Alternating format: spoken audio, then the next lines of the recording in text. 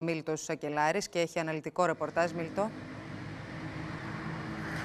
Η ομάδα λαϊκών αγωνιστών που ανέλαβε την ευθύνη για την επίθεση που έγινε τα ξημερώματα της περασμένης Παρασκευής στο κείμενο στην προκήρυξη που ανήρτησαν πριν από λίγο σε ιστοσελίδα του αντιξουσιαστικού χώρου κάνουν δρυμία επίθεση εναντίον της ελληνικής δικαιοσύνης σχετικά με τις υποθέσεις που έχει χειριστεί κατά το παρελθόν. Δεν διστάζουν ακόμη να επιτεθούν προσωπικά στον Αλέξη Τσίπρα και στο success story όπως το περιγράφουν αυτή την πολιτική κατάσταση που βιώνουμε από τότε που έχει αναλάβει ε, ο Αλέξης Τσίπρας τη διακυβέρνηση της χώρας ε, μαζί με, το, με τους ανεξάρτητους Έλληνες. Την ίδια ώρα επιτίθεται στους ανεξάρτητους Έλληνες αλλά και στην κυβέρνηση ΣΥΡΙΖΑ ΑΝΕΛ σχετικά ε, τονίζοντας πως είναι οι πιο πιστοί υπηρέτες των μνημονιακών πολιτικών. Αναφέρονται ακόμη στο νέο προπολογισμό αλλά και στο νέο μνημόνιο που όπως λένε έρχεται από τον Αύγουστο του 2018. Την ίδια ώρα οι άνδρες της τρομοκρατικής υπηρεσίας επιβεβαιώθηκαν σχετικά με τις εκτιμήσεις τους πως πίσω από την επίθεση κρύβεται η ομάδα των λαϊκών ε, αγωνιστών και αναζητούν αυτή τη στιγμή νέα γιάφκα, κάποια γιάφκα στην ευρύτερη περιοχή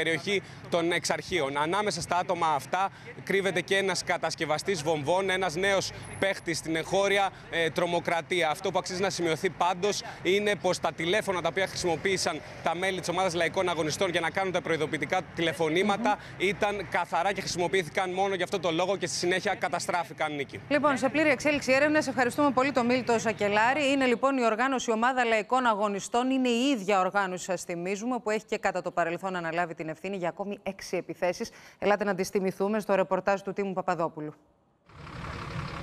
Η τρομοκρατική επίθεση στο εφετείο, τα ξημερώματα της περασμένης Παρασκευής, ήταν η έβδομη κατά σειρά που αναλαμβάνει η ομάδα λαϊκών αγωνιστών. Η τρομοκρατική οργάνωση έκανε την πρώτη της εμφάνιση τον Ιανουάριο του 2013, όταν επιτέθηκε με Καλάζνικοφ στα τότε γραφεία της Νέας Δημοκρατίας στη Λεωφόρο Συγκρού. Οι τρομοκράτες είχαν πάνω τους και ρουκετοβόλο τύπου RPG, ωστόσο παρουσίασε βλάβη. 11 μήνες αργότερα η Όλα επανεμφανίζεται χτυπώντας με τρία Καλάζνικοφ την οικία του Γερμανού πρέσβη στο Χαλάνδρι. Έριξαν 120 σφαίρες κατά του κτηρίου. Ένα χρόνο μετά, η ομάδα λαϊκών αγωνιστών επιτίθεται κατά της πρεσβείας του Ισραήλ στο ψυχικό με δύο Καλάζνικοφ από την απέναντι πλευρά του δρόμου. Από τότε, οι τρομοκράτες φαίνεται πως αναβάθμισαν το επιχειρησιακό τους σκέλος και αρχίζουν και τοποθετούν βόμβες.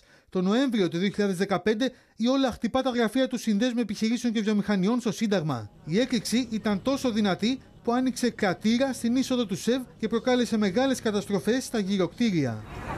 Το Δεκέμβριο του 2016, οι τρομοκράτες τοποθετούν βόμβα στο Υπουργείο Εργασίας Σταδίου. Ευτυχώς ανεπιτυχώ, η βόμβα εξουδετερώθηκε εγκαίρως. Λίγους μήνες αργότερα, ωστόσο, τον Απρίλιο του 2017, η Όλα επιτίθεται πάλι με βόμβα στα γραφεία της τράπεζας Eurobank στη Σάντα Ρόζα. Η έκρηξη ευτυχώς προκάλεσε μόνο υλικές ζημιές. Με παρόμοιο τρόπο έδρασαν οι τρομοκράτες και την Παρασκευή. Τοποθέτησαν βόμβα στην είσοδο του εφετείου, απομάκρυναν το φύλακα πυροβολώντας τον με Καλάζνικοφ και εξαφανίστηκαν στα στενά των εξαρχείων.